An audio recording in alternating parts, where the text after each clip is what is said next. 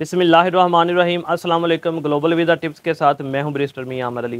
Viewers आज की हमारी वीडियो है शेंजन कंट्री में आता है लेतविया, उसके बारे में। वो एक छोटा सा कंट्री है, बहुत फ़ेमस है टूरिज़्म के हवाले से और पाकिस्तान से उसकी वीज़ा रेशो भी अच्छी है। तो आज की इस वीडियो में मैं आपको बताऊँगा कि आपने लेतविया का वीज़ा कैसे अप्लाई करना है, क्योंकि मैंने खुद लेतविया का वीज़ा अप्लाई किया था, इसलिए मैं अपना एक्सपीरियंस भी आप लोगों के साथ शेयर करूँगा, आपको बताऊँगा कि आपने एम्बेसी कैसे जाना है एम्बेसी की फ़ीस कितनी है। और आपने डॉक्यूमेंट्स कौन से लगाने हैं? साथ में मैं ये भी बताऊँगा कि जब मैं गया था तो मुझसे क्या सवाल अम्बेसी वालों ने पूछे थे। तो ये मुकम्मल डिटेल जो है वो मैं आपसे शेयर करूँगा आज की इस वीडियो में।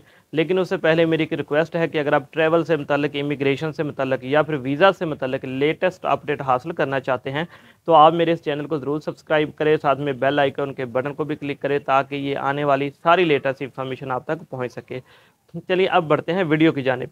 वीडियो स्टार्ट करने से पहले मैं आपको छोटी सी बात बता दूँ कि जो मैं अक्सर वीडियो बनाता हूँ, वो मेरे अपने उसमें अब मेरा अपना एक्सपीरियंस है, क्योंकि मैं भी एक ट्रैवलर हूँ और मुख्तलिफ़ कंट्रीज़ में घूमता रहता हूँ। तो ज़्यादातर वीडियोज़ में मैंने अपना एक्सपीरियंस शेयर किया हुआ है कि मैंने खुद कैसे वीज़ा अप्लाई किया था, कैसे हासिल किया था, मैंने डॉक्यूमेंट्स कौन से लगाए थे। तो आज की जो वीडियो है, ये भी उसी के ऊपर है क्योंकि मैंने लेतविया का वीज़ा अप्लाई किया था और मुझे वीज़ा मिला था। तो इसलिए मैं आपसे अपना एक्सपीरियंस भी शेयर करूँगा और आपको बताऊँगा आपने अप्लाई कैसे करना है। सबसे पहले जो आपने काम करना है, आपने अच्छा मैं आपको बताऊँ कि लेतविया की अम्बेसी पाकिस्तान में नहीं है। इसका वीज़ा जर्मन अम्बेसी के ज़रिए प्रोसेस होता है। जर्मन अम्बेसी वाले आपके डॉक्यूमेंट्स लेते हैं, उसके बाद वो लेतविया को देते हैं और वो आपका वीज़ा जो है वो प्रोसेस करता है। तो मैंने सबसे पहले क्या किया था कि मैंने सबसे पहले जो था, जर्मन अम्बेसी की वेबसाइट पर गया था और वहाँ पर जाके मैंने अपनी अपॉइंटमेंट बुक की थी, जो कि मुझे तकरीबन एक माह बाद की मिली थी।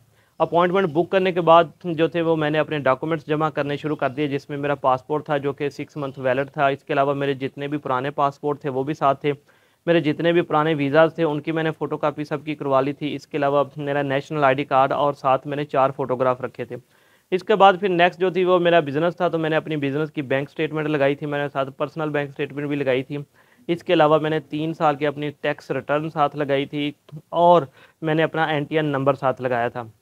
इसके साथ मैंने अपने दो लेटर हेड साथ रखे थे। एक मैंने खाली रखा था और एक के ऊपर जो था, वो मैंने वीज़ा रिक्वेस्ट लिखा था लेतविया को। इसके अलावा मैंने एक ट्रैवल प्लानर भी बनाया था, जो कि मेरे लेट लेटर हेड पे नहीं था। वो एक सिंपल खाली पेज पे था, जिसमें मैंने तकरीबन पाँच से छः जगह मेंशन की हुई थी कि मैं इस इस जगह जो है ना, वो विज़िट करना चाहता हूँ। नेक्स्ट जो मैंने इसके साथ लगाया था, वो मैं एक मेरे नाम कार थी। मैंने अपनी कार के डॉक्यूमेंट साथ लगाए थे और साथ मैंने अपनी प्रॉपर्टी के डॉक्यूमेंट्स भी लगाए थे। तो ये मेरे डॉक्यूमेंट्स थे लेतविया के लिए। इसके अलावा मैंने एक रिटर्न टिकट साथ लगाई थी और होटल की बुकिंग जो थी, वो लगाई थी। मेरी रिटर्न टिकट और होटल की बुकिंग कन्फर्म ही मैंने कि पेड थी। मैंने जो थी ना, वो इसकी रेजर्वेशन खाली बुकिंग जो नहीं लगाई थी, मैंने ये पेड लगाई थी। तो ये डॉक्यूमेंट थे, ठीक है जी। इसके अलावा हेल्थ ट्रैवल इंश्योरेंस थी, जो कि पैंतीस हज़ार डॉलर को कवर करती थी। ये सारी चीज़ें, ये एक फ़ाइल बना के जो जिस दिन मैंने जाना था तो मैं चला गया था इस्लामाबाद में। तो जैसा कि आपको पता है कि आप डायरेक्टली एम्बेसीज नहीं जा सकते, आप पहले रुकते हैं, वहाँ पे शटल सर्विस होती है। शटल सर्विस जो है, वो आपको लेके जाती है एम्बेसी तो मेरा जो टाइम था, वो तकरीबन था साढ़े आठ बजे का एम्बेसी में अपॉइंटमेंट का। जब मैं वहाँ पर गया तो सवा आठ थे, तकरीबन मुझे दस से पंद्रह मिनट वेट करना पड़ा। मेरी बारी आई थी आठ बजकर चालीस मिनट पर वहाँ पे एक जर्मन ओल्ड लेडी थी, उसने मेरे सारे डॉक्यूमेंट्स कलेक्ट किए वन बाई वन वो डॉक्यूमेंट्स देखती गई और रखती गई और फिर एंड पे उसने मुझे कुछ सवाल पूछे थे जो मैं आपसे शेयर करता हूँ। अच्छा मैं एक चीज़ और बताऊँ। उसने मेरे तकरीबन सारे वीज़े वापस कर दिए थे। जो फ़ोटो कापी थी, जिनमें तुर्की का था श्रीलंका तुर्की का था, श्रीलंका का था, इसके अलावा मलेशिया का था, थाईलैंड का था अज़रबैजान का था। ये उसने मेरे जो थे वो वापस कर दिए थे। उसने मेरा वीज़ा रखा था। कौन सा रखा था? उसने मेरा वीज़ा रखा था। तो उसने एक मेरा यूके का वीज़ा रखा था ठीक है। और मेरा फ्रांस का जो पहले शेंजन का वीज़ा लगा हुआ था वो उसकी फ़ोटो कापी रखी थी। यूके का रेजिडेंस परमिट था और फ्रांस का जो था वो आ, मैंने जब फ्रांस अप्लाई किया था तो वो शेंजन वीज़ा था। विज़िट वीज़ा वो दो फ़ोटो कापियाँ सिर्फ़ उसने रखी थी। बाकी सारे वीज़ा की कापी उसने मुझे वापस कर दी थी। उसके बाद जो उसने सबसे पहला मुझे सवाल पूछा मेरा जो टूर का प्लान था वो तकरीबन छः दिन का था। तो सबसे पहला सवाल उसने मुझे ये पूछा कि आप छोटा सा तो मुल्क है लेतविया तो आप छः दिन वहाँ पर क्या करने के लिए जा रहे हैं? सिक्स डेज़ आप क्या करेंगे? तो मैंने उसको बताया कि मैं दो दिन तो मेरे आने जाने में लग जाएँगे अब पीछे चार दिन बचते हैं तो और बाकी ये मैंने छः जगह लिखी हुई है, चार दिन में मैंने विज़िट करनी है और वो भी मेरे लिए मुश्किल है कि इतने टाइम में मैं कवर कर लूँ क्योंकि मुझे मेरे ऑफ़िस में पीछे जो मैनेजर है वो मेरे बिज़नेस को संभाल रहा है। तो इसलिए मैं, हमने सिर्फ़ मैनेज किया कि मैं छः दिन के बाद जो है वो वापस आ जाऊँगा। तो इस सवाल का जवाब मैंने इस तरह दिया था। फिर नेक्स्ट जो उसने मुझसे क्वेश्चन पूछा था, वो ये पूछा था कि जो आपने टिकट बुक की है, इसके प्राइस क्या है? और ये कौन सी एयरलाइन की है? तो मैंने फिर उसको बताया कि ये कतर एयरलाइन की टिकट है और मैंने उसको ये भी बताया कि इसके इतने प्राइस हैं।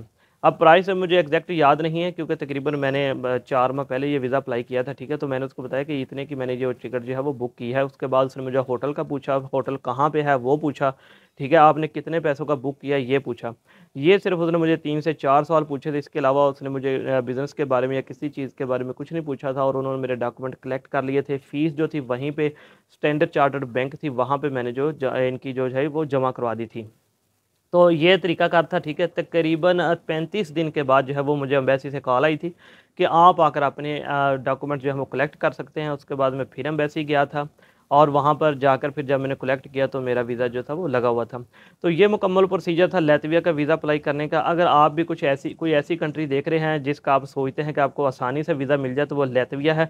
मैं एक चीज़ बताता चलूँ कि जो ऑनलाइन आप लेतविया के वीज़ा एक्सेप्टेंस रेशो देखते हैं वो पाकिस्तान के हवाले से नहीं है।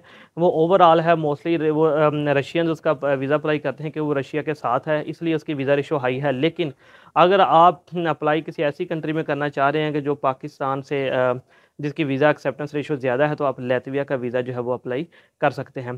तो ये आज की मुकम्मल डिटेल के साथ मैंने आपको बता दिया कि किस तरह से आप लेतविया का वीज़ा खुद अप्लाई कर सकते हैं। आपको किसी एजेंट के पास जाने की ज़रूरत नहीं है। इन उम्मीद करता हूँ आपको ये वीडियो पसंद आई होगी। इन शाला नेक्स्ट वीडियो के साथ फिर आपकी खिदमत में हाज़िर होंगे अल्लाह हाफिज़।